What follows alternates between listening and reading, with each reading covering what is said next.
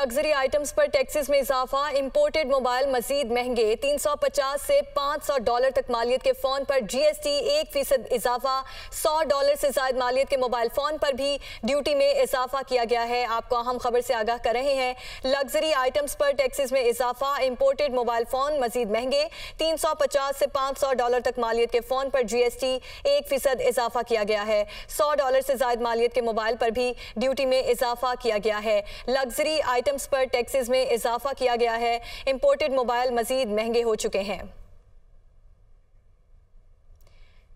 माली साल 2023-24 के लिए चौदह हज़ार चार सौ साठ अरब रुपए का बजट पेश। विफाकी बजट में छह हज़ार नौ सौ चौबीस अरब रुपए का खसारा। ग्रेड एक से सोलह तक तनख्वाहों में पैंतीस फ़ीसद का इजाफा। ग्रेड सत्रह से बाईस तक सरकारी मुलाजमीन की तनख्वाहों में तीस फ़ीसद इजाफा किया गया है। विफाकी बजट में पेंशन में साढ़े सत्रह फ़ीसद इजाफा।